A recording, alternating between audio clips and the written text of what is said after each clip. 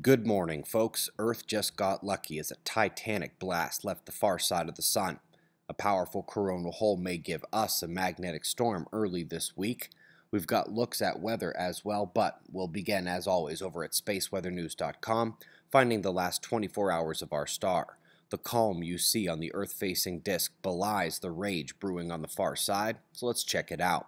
Let's go to stereo A, positioned behind the sun and watching that far side so we see a million kilometers of plasma filament across the north with two dark coronal hole patches below. Even with only one image archived from last night, we can see that the filament is now gone. Solar tsunami canyon of fire took its place. It indeed ripped away in the evening hours UTC yesterday. 304 angstroms from Earth's perspective even shows the blast erupting from the northern hemisphere of the far side. And when we come to the coronagraphs of SOHO, you can see how dense the plasma is and realize how lucky Earth is to watch that one sailing far afield of our planet. Solar flaring, solar flubbing.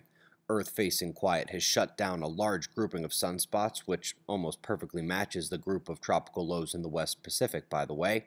No magnetic mixing as of now and we are expected to be quiet.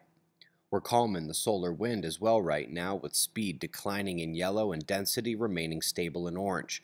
However, solar experts across the world are predicting a major impact in the next 48 hours. This would be from the southern coronal hole now departing, and it is not a coincidence that the same solar structure we used to predict the big quake in New Caledonia three days ago was able to produce such a rumble because it is more powerful itself. Stream expected in the next day and a half or so, and it may be enhanced before or after by small filament driven CMEs from three days ago as well.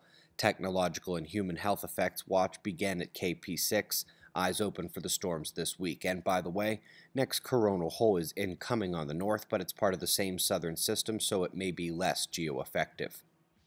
Folks, the flooding near the Gulf of Mexico is terrible, getting worse, and there is more rain in the forecast. More than a thousand rescues have taken place, and that's just the people. Pets and livestock present other challenges. Anyway, the region should be getting Gulf moisture delivered to a low in Texas today, which will spread along a greater convergence towards the northeast and drop flash floods over a much larger area tonight. Folks, yesterday's episode of Fly on the Wall ran down the Earth and Sun's activities. But then we brought in Adrian from Suspect Sky to discuss the ISS feed cuts during anomaly sightings and also just how Facebook and the elite marketers of the world really affect our community, much more than you might imagine. I've got the rest of the world's weather followed by shots of our star to close. It's 4 a.m. in the new Valley of the Sun.